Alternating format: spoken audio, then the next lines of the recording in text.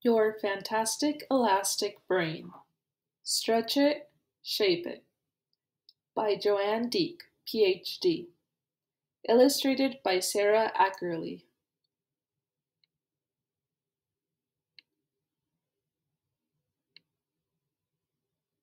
What does your brain really do?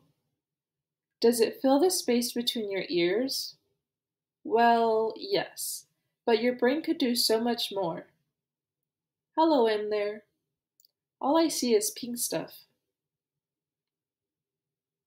Your brain helps you think and remember and name what you see and what you hear. It lets you move your body and feel both touch and emotions. Your brain does all the things that make you you. Likes red foods. Favorite word is elbow. Ping pong champ. Knows global landmarks. Good at science.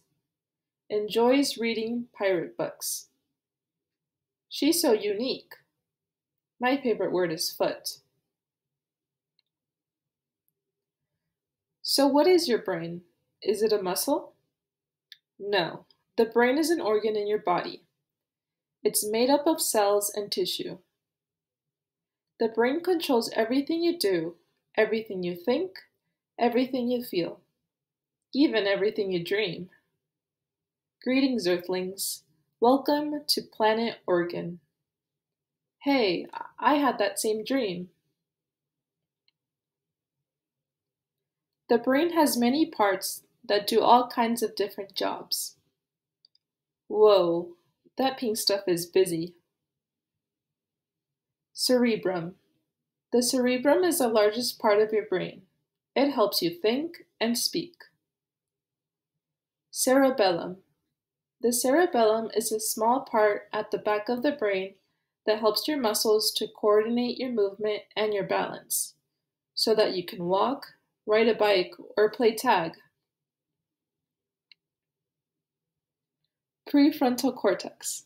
The prefrontal cortex, PFC for short, is the part of your brain behind your forehead.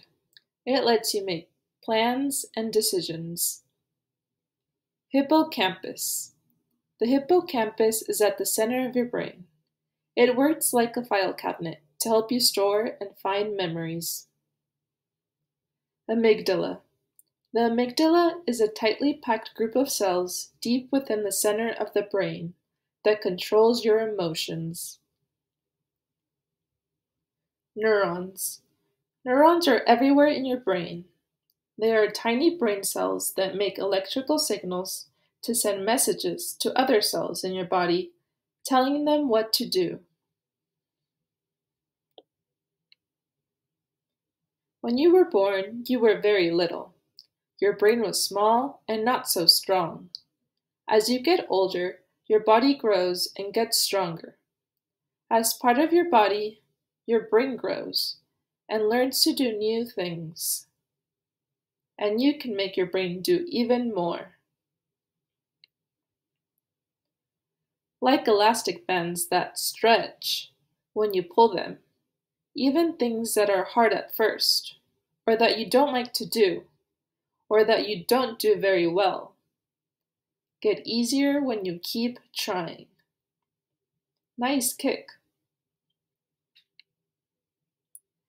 Even when you make a mistake while you're learning something new, you are still training your brain. You will remember that mistake and try something else until you get it right. Making mistakes is one of the best ways your brain learns and grows.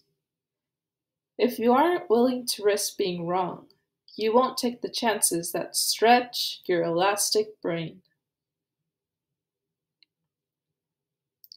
You could stretch the part of your brain that controls your feelings too.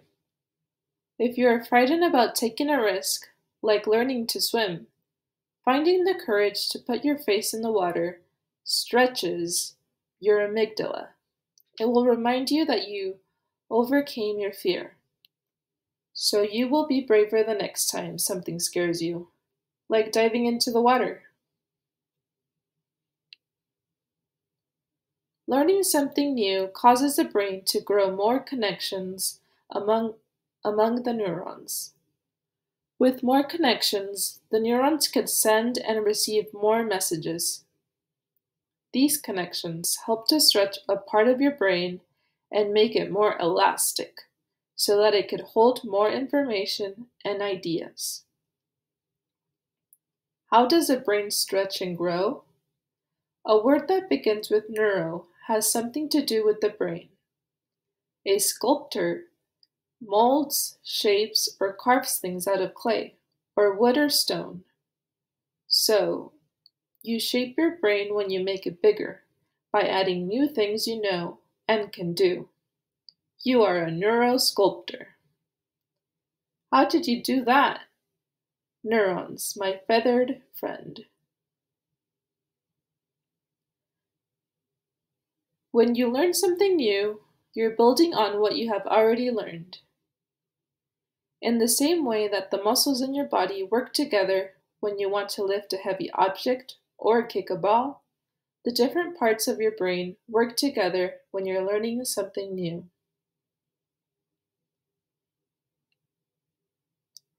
The brain that makes you you really is an amazing organ. It controls what you think, do, feel, and remember.